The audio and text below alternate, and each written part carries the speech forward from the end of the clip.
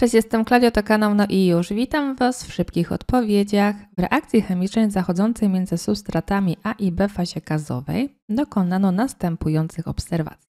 1. W wyniku ogrzania o 10 stopni Celsjusza zamkniętego układu w warunkach izobaryczno-izochorycznych, w którym przeprowadzona była reakcja chemiczna, jej szybkość zwiększyła się trzykrotnie.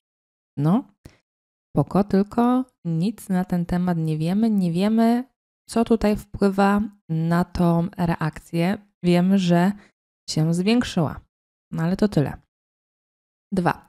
Szybkość zachodzącej reakcji nie zależała od stężenia żadnego z produktów. I to jest bardzo ważna mm, informacja, ponieważ w równaniu kinetycznym nie będziemy brać już pod uwagę ani C, ani D. Czyli już tylko patrzymy, gdzie A, a gdzie B. 3. W wyniku dwukrotnego zwiększenia ciśnienia panującego w układzie w warunkach izotermicznych szybkość reakcji wzrosła dwukrotnie. No to znowu nam nic nie mówi, bo nie wiemy, czy to wpłynął A, czy B, czy oba. 4. Dwukrotne zwiększenie stężenia substratu B w układzie spowodowało dwukrotne zwiększenie się szybkości zachodzącej reakcji.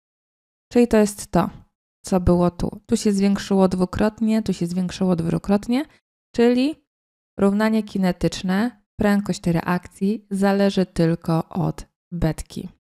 Przeanalizuj podane informacje i na ich podstawie napisz równanie kinetyczne.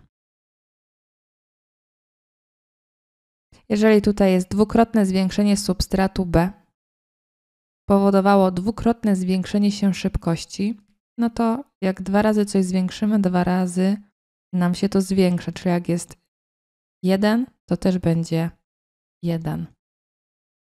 Bo dopiero dwukrotne zwiększenie sprawiło. Więc tutaj tej jedynki nie zapisujemy.